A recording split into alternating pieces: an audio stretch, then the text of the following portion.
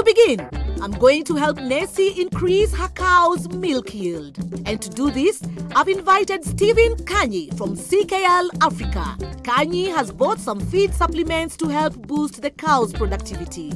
But he's noticed there are some challenges with the cow shed that need to be sorted out first.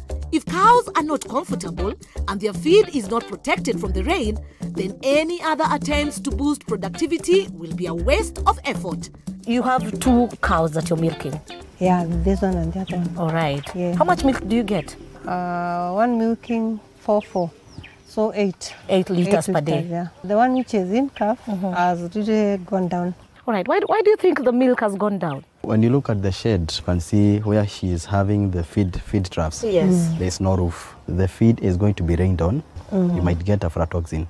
Then when the feed gets bad, the mm. cows cannot feed. Yeah. So you're not going to get maximum production. So we need a roof here where we have the, the feed troughs. Mm -hmm. Then also you can see the floor where the cows are sleeping on. huh? Yes. Mm. So it is not uh, leveled, it has holes. Yeah, that is why you can see the brown cow here, Yeah. uh, she is muddy Yeah. because she cannot be able to sleep on the sleeping area. We need to do a very good floor mm -hmm. and a very good sleeping area. Mm -hmm. And also, I've noted that uh, there are some woods that have been uh, eaten by termites. Is this area aff- affected by termites? Very much. They attack everything. They attack the poles. They even uh, sometimes you find even on the stones they are building there. So they can even attack your houses. Yeah. Termites are very destructive. They can destroy a house in a very short time. And uh, doing a shed, uh, maybe after a short time, it is going to eat to your profit, into your profit. So you need to get rid of the termites. And also they eat even maize stovers. So the best thing is uh, prevent the termites and er- eradicate them by using a termiticide. And the Metro uh, hmm. from CKL mm-hmm. will help you. You just mix Metro with water, hmm. then you spray all the wood, hmm. and it will be free of termites. Around even five years without Okay. seeing termites. Mm-hmm. So you're going to save on your cost. And it is not only for the cowshed, even Okay. your house, Even in the house. even where you, are, you have your house, you can still apply Metro. To spray, mix 25 milliliters of Metro with 20 liters of water. Each application will last for five years. It is both That's preventative Oh. and curative. Okay. Yes, and also you can mix this, then you treat the termite holes. Is it used in uh, in the field? This one is specifically... Can you use specifically it for maybe treating maize plants or? no metro is formulated for buildings. Okay.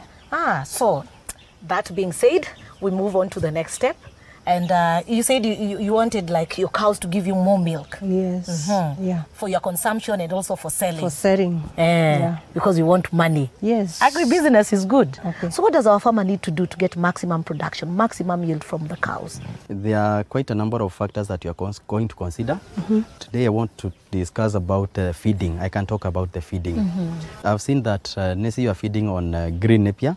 Yeah, it's not bad. If what you are supposed to do, you are supposed to consider a balanced feed. Mm. We have vitamins, okay. we have carbohydrates, we have proteins, mm. and we have minerals, mm -hmm. and the fifth one is mm. water. With that, uh, for the energy, uh, we are going to provide napier and also uh, things like hay. -hmm. And for proteins, you are going to provide a dairy meal, -hmm. and on top, you are going to supplement with kupakula. Yeah, Kupakula is a protein supplement, well formulated to help your cows to build on the body, increasing in weight, the growth rate, and also uh, increasing the density of the milk. It has uh, something we call uh, yeast metabolite, which helps in digestion. For Kupakula Gold, give 200 grams for each cow in the morning and 200 grams in the evening. Alternatively, mix 5 kilograms Kupakula Gold into 70 kilograms dairy meal. Increase the amount of Kupakula with the increase in milk production. You're going to get more money from the mm. cows. Mm-hmm. Yeah. Okay, so time we got to work. The eating area needs to have a roof to keep off the rain and stop aflatoxin contaminating the feed. Next, we are adding concrete to the floor. This helps to smooth it out and avoid any pools of mud or water that might encourage pests and diseases. And the sleeping area must be dry. Once it's cleaned and disinfected, wood shavings can be spread. It's important to keep the shed clean at all times. Wow! Great job, everyone!